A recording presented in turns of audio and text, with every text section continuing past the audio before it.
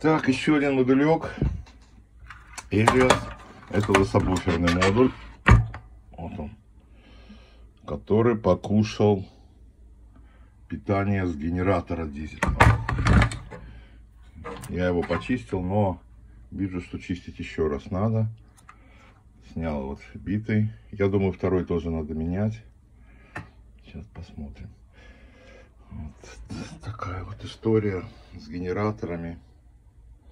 Наверное, дешевые генераторы все-таки не подходят для этих целей. Или какой-то подороже стабилизирующий, или как-то со стабилизатором их дружить. Но здесь вроде бы и трансформатор, вроде бы и не страшно, а выбило всю половину, которая была запитана с генератора. Выбило и sub, и ТОП, одинаковые модули.